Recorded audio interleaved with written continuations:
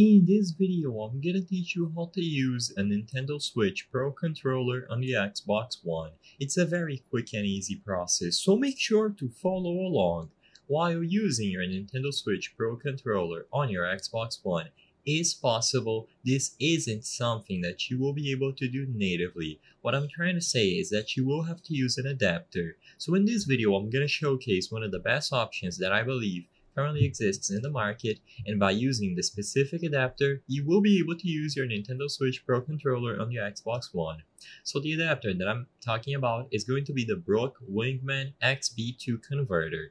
Keep in mind that there are other options for adapters but the requirement is that you use an adapter. To my knowledge, this process is impossible to do using a cable, meaning that you will not be able to use a direct wired connection from the Switch Pro controller to the Xbox One, so you are forced to use one of these adapters. After you find any suitable adapter or specifically the Brook Wingman XB2 converter, you will be able to connect it to your console and the lights on the actual USB stick are going to start flashing, indicating that you can press the pair button on your Nintendo Switch Pro controller to make sure it is paired up properly with the device and after it is, you will be able to use the game pad or the controller as usual without any issues.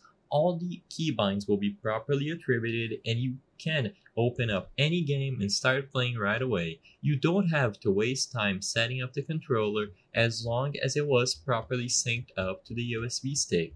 Of course, you simply have to insert this USB stick on any available USB port on the Xbox console that you are using. As you can see under the controller compatibility, they have multiple controllers supported, so if you have additional controllers besides the Switch Pro controller, you can even use those ones instead if you want. I hope I was able to help you on how to use a Nintendo Switch Pro controller on Xbox One. If this video helped you, please be sure to leave a like and subscribe for more quick and easy tips. Thank you for watching.